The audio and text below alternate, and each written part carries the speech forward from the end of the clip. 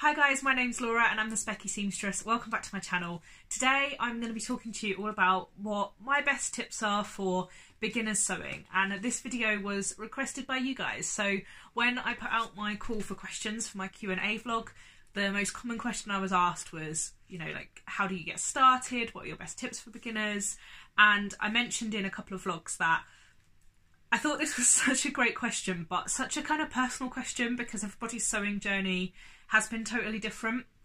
And so I've got together with some amazing sewing vloggers to bring you kind of a wide view of what your best tips are for beginners. Um, so keep an eye out for that coming up over the next six weeks or so on a number of channels. I'll be linking them um, into a playlist and I'll be um, popping up on Instagram with links to them as well. So do keep an eye out for that. But I've really been thinking about this and I did want to give it the time it deserved. So I've got 10 top tips here, and throughout that, I'm going to kind of be talking a little bit about my sewing journey as well and how I got started and how I've made it such a strong hobby um, for me now. Strong in the sense I really love it, not in the fact I'm really good.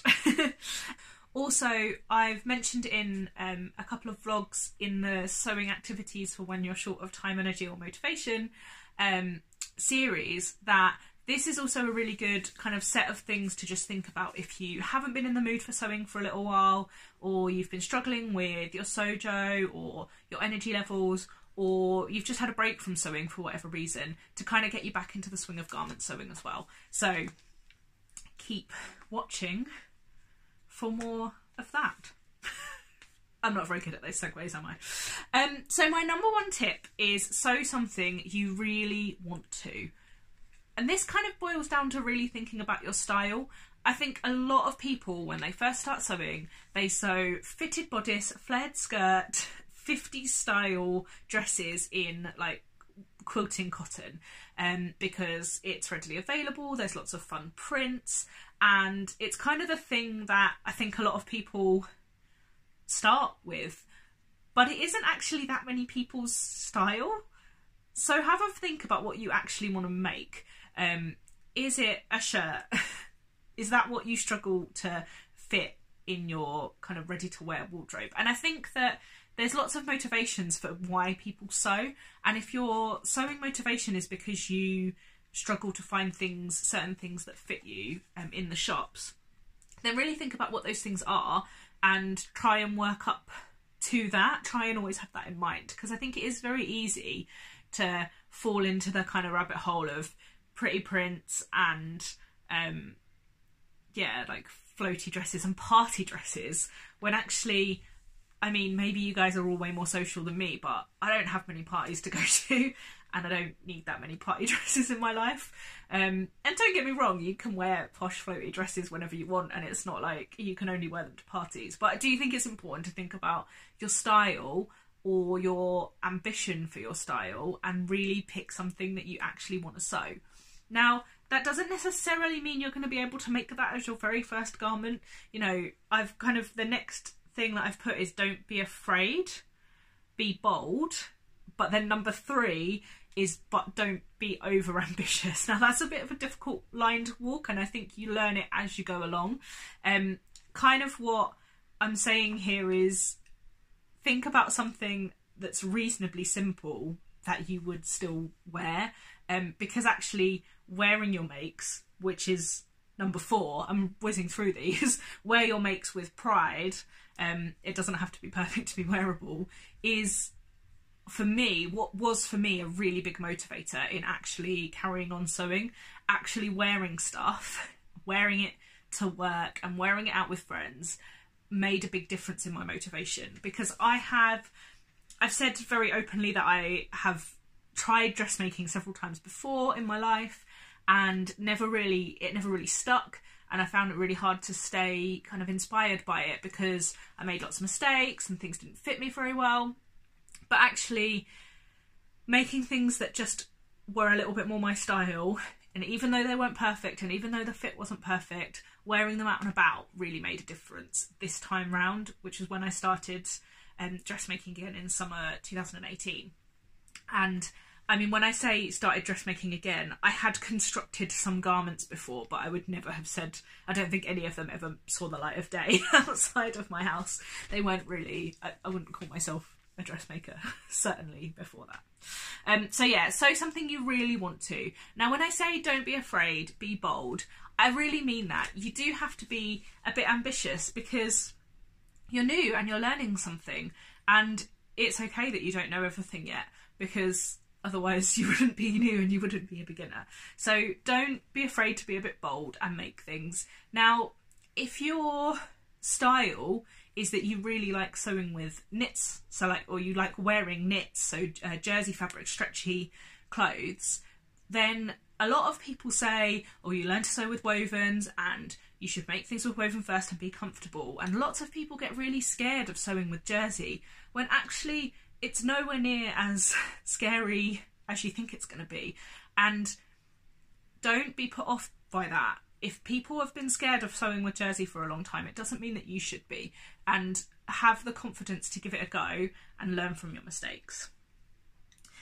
But don't be too over ambitious. Now, what I mean by that is it's probably not worth your very first um, make being a lined leather jacket with 25 zips in it and, um, you know, difficult things to do.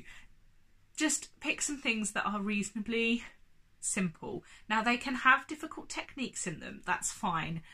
The the best way I've kind of thought about it is when I first made my grain, la- grain line Grainline Studios cascade duffel coat they say that the coat is an advanced make, and they say in it, it isn't advanced because the techniques in it are particularly challenging, but there are a lot of steps.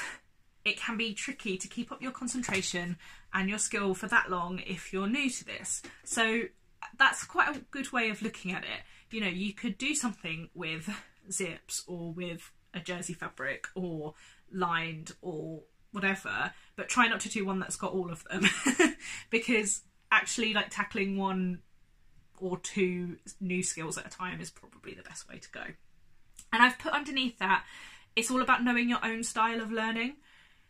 In the past, when I had tried to learn dressmaking before, I was like, I will learn one thing at a time and you know, I got bored because actually I wanted to tackle a few things and see how it went and maybe fail a couple of times and then sort of go from there. So it is kind of a little bit about knowing your own style of learning. You know, if you are the sort of person that wants to learn a skill and then excel at it and really, really master it before you move on to the next one, then that's what you should do.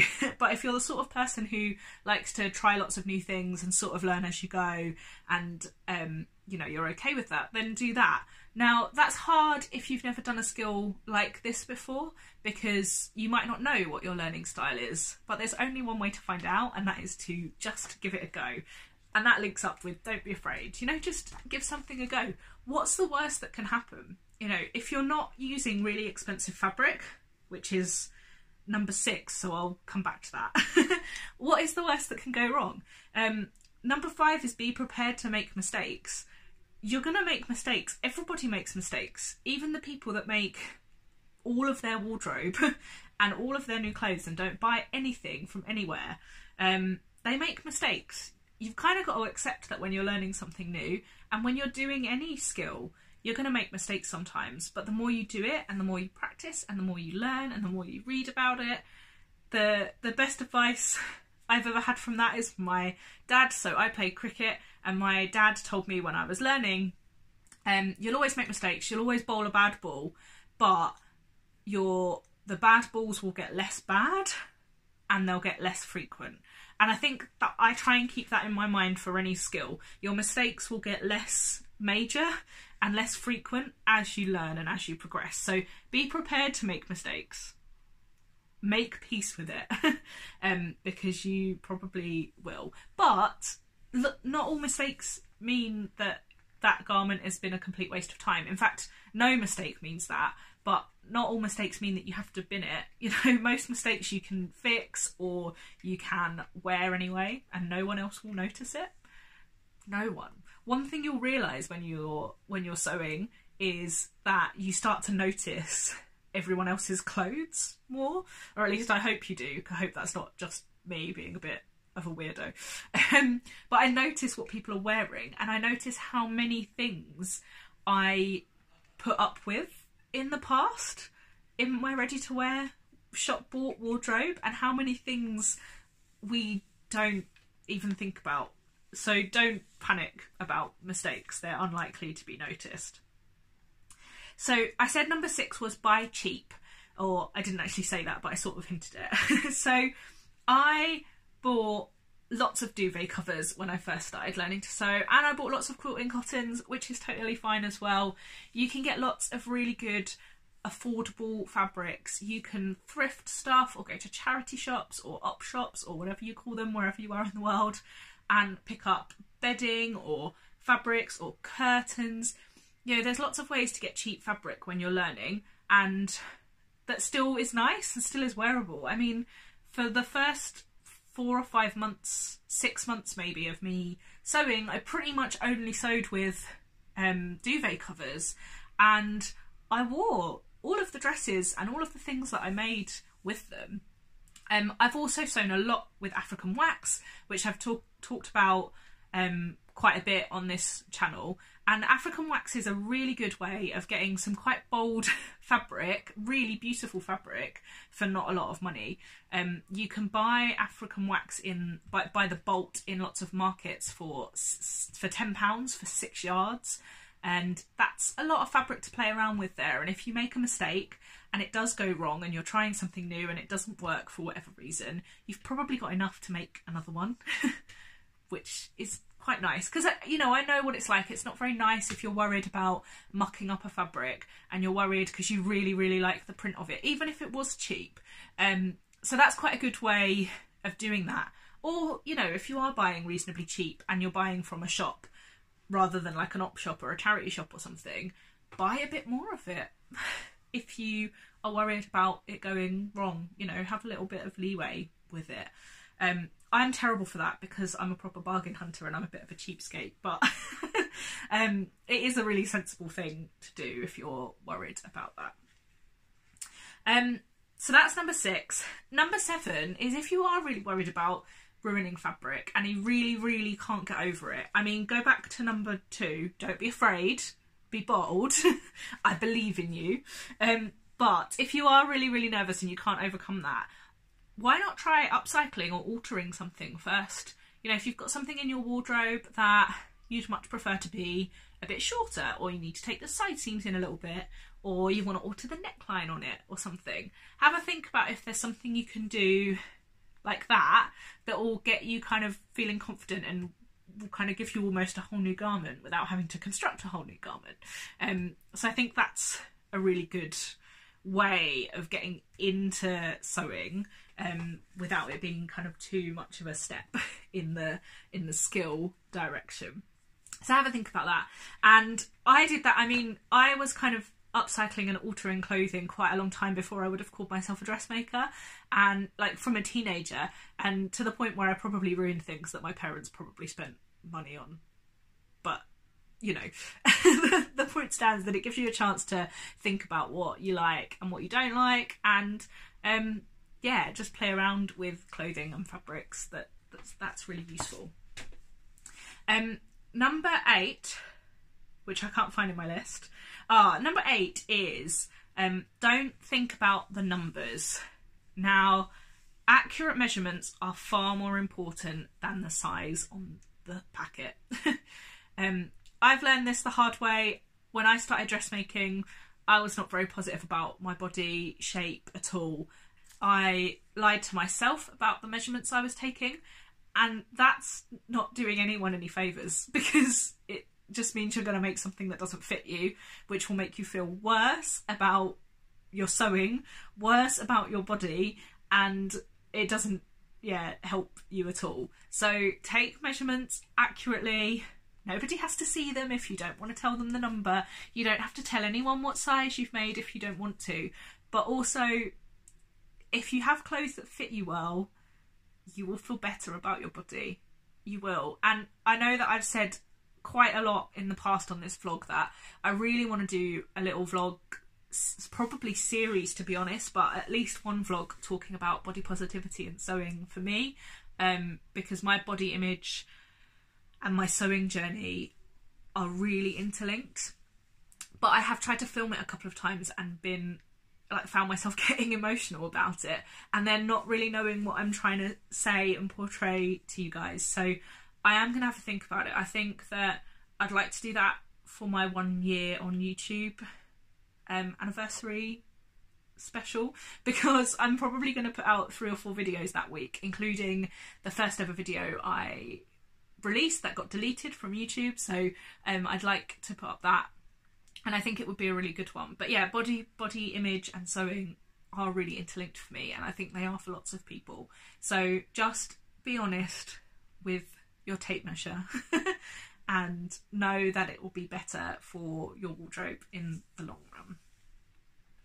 Um, moving on to number nine is get inspired by everything around you and find your community. Now, the fact that you guys are already watching YouTube about sewing means that you're listening to people and finding out about stuff in the sewing community. Now, the sewing community online is what like vast. There are so many ways of interacting with the sewing community online. Through reading blogs through watching vlogs. There are tutorials out there which are great if that's the way that you want to learn you know. I think that this time round for me one of the other reasons that it stuck is because there was so much resource out there for me to go to and find information out when i was stuck because the challenge I had was not getting started, it was getting restarted once I'd got stuck and made a mistake and couldn't fix it. Um, so actually, reading tutorials, going and finding um, pattern reviews and sew alongs was so valuable for me and it helped me find the community that I like. Yeah, like find the community that builds you up and inspire you to sew and give you the skills and knowledge and excitement about making a me made wardrobe. um, and don't make you feel bad about it. You know, I I said at the start, sew something you really want to sew and know your style.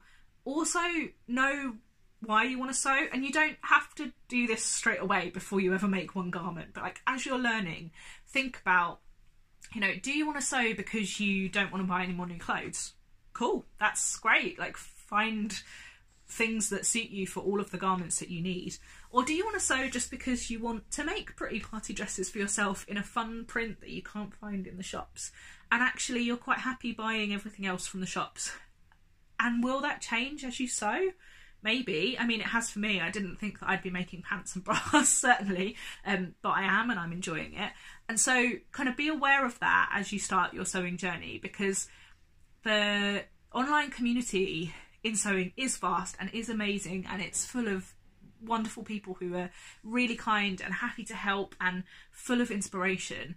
Um, but it can be quite overwhelming, and if you you know you don't want to be made to feel guilty because you're still buying jeans or you're still buying um, plain black t-shirts or whatever because they don't inspire you um, when you're sewing and i think you know find your community for that and make sure that you're in a community that really does kind of inspire you so that's my number nine. Number 10 is don't be afraid to ask for help and don't be afraid to share your learnings. And that can be through mistakes or successes. The sewing community really is one of the most welcoming communities that I've been part of, and um, sharing your mistakes is really valid and asking for help. Honestly, I asked for help twice really early on in my sewing journey, particularly like my online presence sewing journey. Um, I asked for help from Ashley, who is Ashley Ellen on Instagram. And she's starting a YouTube channel this year, which I'm super excited about because she ran a challenge really early on when I was sewing that I won, which was very exciting. Um, and I asked her for help and guidance on a fabric choice and then I also asked um, Joe, who is uh, a meter of on Instagram, but she also runs Pipe Dream Patterns. And I just reached out to her completely out of the blue for help on a neckline fitting issue that I had. And she gave me the time and helped me. And I am so grateful for that because it made me want to keep posting and sharing and being part of that community online. And do ask for help because people will help, um, or they'll point you in the direction of someone who can help. Some of you guys have asked me questions that I do not know the answer to, but I really do try and point you in the direction of someone who can help you out if you need it. So they are my top 10 um, tips for beginners or getting back to basics or getting back into your sojo, I guess. Um, I have really enjoyed thinking about these things and yeah, really, really loved it. Um, just to give you a little bit more on like my sewing journey. So I said I've tried dressmaking a couple of times in the past and never really had much success. I learnt to sew at school, um, so I knew how to use a machine and I didn't know anything about fitting or really garment construction, but I knew how to read a pattern and I knew how to sew. And I had a sewing machine because from one of my previous attempts to learn to dressmake that didn't last very long at all. And when um, me and my husband moved house in September 2017, we um, were planning our wedding and we were having the party at our house and we needed to have lots of seats because we all of a sudden had way more people coming to our house than the you know usual two to four people that were in in the property so i got the sewing machine out and i made up some cushions to go on some um, different seating around the house and then I sort of said to Nick, oh, I think I might keep my sewing machine out actually and try a few other bits and pieces. And then I, um, shortly before we got married, I uh, handed in my resignation at my job. I were, was working in London and I didn't like the commute that I had. So I moved jobs and I moved jobs shortly after we, we got married uh, to a job that was much more local. And I said to Nick, you know, I think I'm going to learn to sew with the extra time I have. Um, the move in job saved me something like eight to ten hours a week on my commute, and I put that into sewing, and I loved it. So, uh, you know, maybe one of my other tips, maybe number eleven, is kind of appreciate that it's going to take some time, and if you want to be really good at it, you need to dedicate a bit of time to it. But that also everybody's sewing journey is totally different, and you know you can do you can learn to sew in really short bursts or you can really dedicate time and and and yeah your sewing journey will just be different to everybody else's. So don't compare yourself and i think that kind of links back to like know your community and try not to get overwhelmed by by the community that's out there. Um everybody is different and that's kind of why i didn't want to do this vlog just by myself because i think actually the benefit of this community is that everybody is different and everybody's journey has been different and actually we should find out about that and hear lots of different people's views and see what resonates with us. So on that note i am going to leave you here and i'm going to um, pop a link to the playlist down in the description and let you guys know over the next couple of vlogs who's been taking part but thank you so much for watching and thanks for um, letting me know that this is a vlog you wanted to hear about. I would absolutely love to know if there's other vlogs you'd like me to do. Um, I know that several of you are interested in me doing sew-alongs, but I'm a little bit nervous about sew-alongs because I can't, I don't think I can really teach because I don't think I'm good enough to teach and I don't know what you want to see from it. So let me know if you're interested in a sew-along, what do you actually want to see? Like what do you want me to be doing while, while we're sewing along? together. Anyway, thank you so much for watching and until next time, bye!